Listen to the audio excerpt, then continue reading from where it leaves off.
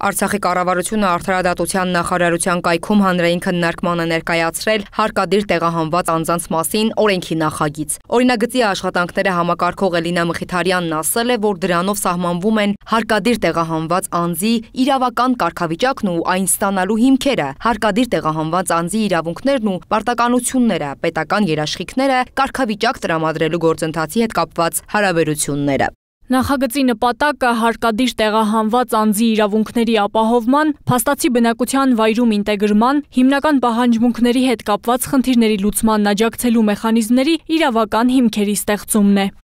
Մխիթարյանի խոսքով հարկադիր տեղահանված անձանց կարգավիճակն Արցախում ինչպես Արցախյան առաջին 1991-ից 94 թվականների, այնպես էլ 2016 թվականի ապրիլյան քարորիա պատերազմից հետո որևէ իրավական ակտով ամրագրված չէր, ինչը մեծաթիվ խնդիրներ առաջ բերեց 2020 թվականի 44-օրյա պատերազմից հետո, երբ բնակչության 30%-ը հայտնվեց հարկադիր տեղահանված անձի կարգավիճակում։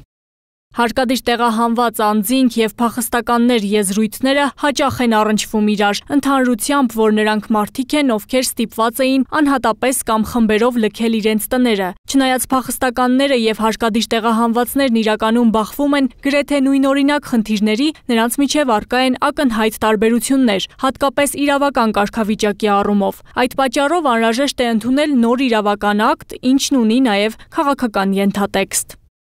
Էլինա Մխիթարյանը հայտնել է, որ ուսումնասիրել են բոլոր այն երկրների օրինակները, որոնք ունեցել են նմանատիպ խնդիր։ Իսկ հանրային քննարկումը միտված է նրան, որ ընտրվի այնպիսի եզրույթ, որն առավելագույնս կարտահայտի տեղահանված անձանց իրավական, սոցիալական ու քաղաքական վիճակը։ Արցախի պետնախարարի խորհրդականի խոսքով պետք է մեկընդմիշտ տալ հստակ ձևակերպումները, որպեսզի հետագայում այդ դաշտը նույնպես կարգավորված լինի։ Չնայած 2020 թվականի 44-օրյա պատերազմից հետո որոշակի ենթաօրենսդրական ակտերով կարգավոր կարգավորումներ կան, սակայն դա չի նշանակում, որ պետք է մի կողմ թողնել կարգավիճակի սահմանումն օրենքով։ Մյուս կողմից էլ օրենսդրական այդ ակտի ընդունումը քաղաքական ենթատեքստ ունեցող հարց է։